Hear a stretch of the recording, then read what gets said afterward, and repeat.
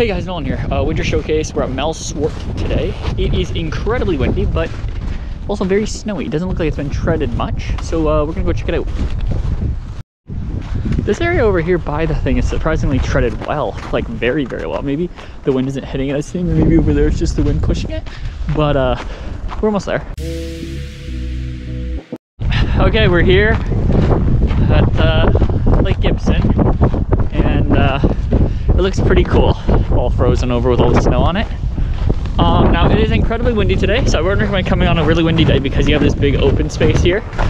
Um, but typically in the winter, just a normal kind of wintry day, be pretty, it's pretty nice here, pretty nice.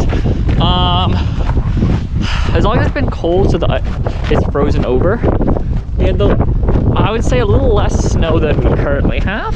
Um, that way there's still snow on like the outskirts of the lake, but um, it, this is just ice. That's when it looks prime, but it looks pretty nice. Um, the seagull up there, interesting. Uh, I would say the best time to come here is probably summer.